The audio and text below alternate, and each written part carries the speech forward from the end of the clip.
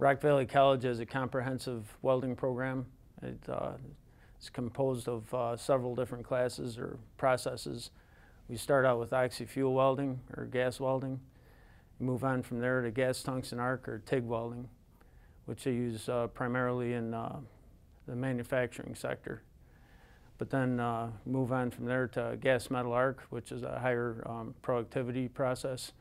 They used a lot for uh, shipbuilding in World War II. Then they uh, move on to shield metal arc welding, which you weld in uh, all positions. So that's uh, flat, horizontal, vertical, and overhead. We have separate classes for those. And um, also we have uh, pipe classes available and uh, special processes, which you learn how to weld aluminum and stainless steel. We have four certified welding inspectors that uh, teach for us. Yeah, they've got a lot of experience, probably uh, 250 years of experience, you know, between all of them.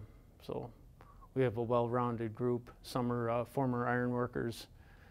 There's uh, people that worked in industry that are currently working in industry.